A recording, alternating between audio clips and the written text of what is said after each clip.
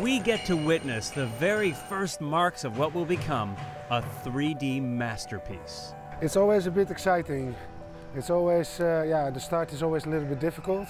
World-renowned chalk artists like Remco van Schaik from Holland are gathering at Redmond Town Center for Chalkfest, the first annual celebration of chalk art.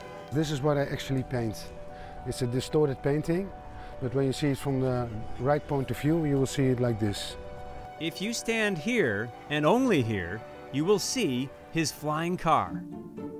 Remco is considered one of a handful of masters of 3D street art. He'll spend 20 plus hours on a painting, then it goes away. Everything is temporary, and I like it because it makes it more special. You have to be here at that moment of time, and otherwise it's gone.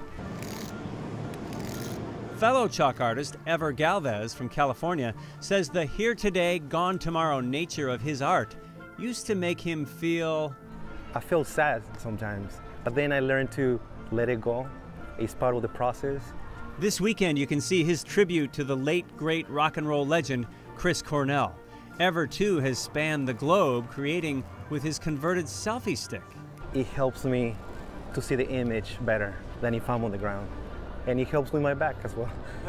Remco says his work isn't complete without you. I always say I make the painting for 90%, and the last 10% is you sitting in the painting. That will finish the painting.